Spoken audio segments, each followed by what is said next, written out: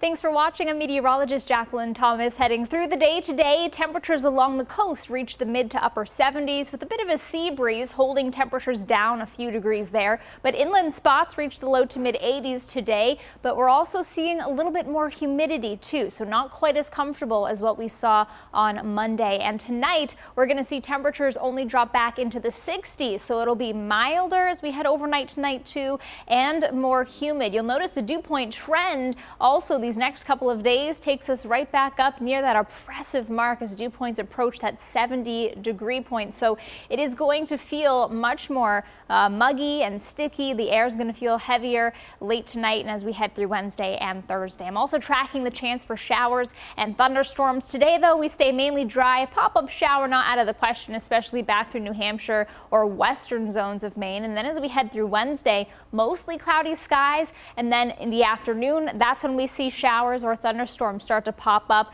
It'll continue into the evening and even the overnight hours Wednesday into Thursday. There could be a shower or a thunderstorm. And then on Thursday, too, we'll see the chance for showers and storms as a couple of fronts push their way on through. But beyond that, it's going to clear things out and make things more comfortable again for the end of the week. So today, we're seeing that sunny start with those clouds this afternoon and turning much more humid. So tonight, muggy and milder, not as cool with mostly cloudy skies The eight day forecast some impact weather the next couple of days with that chance for showers and storms. And then the end of the week turns nice again, sunshine and less humid.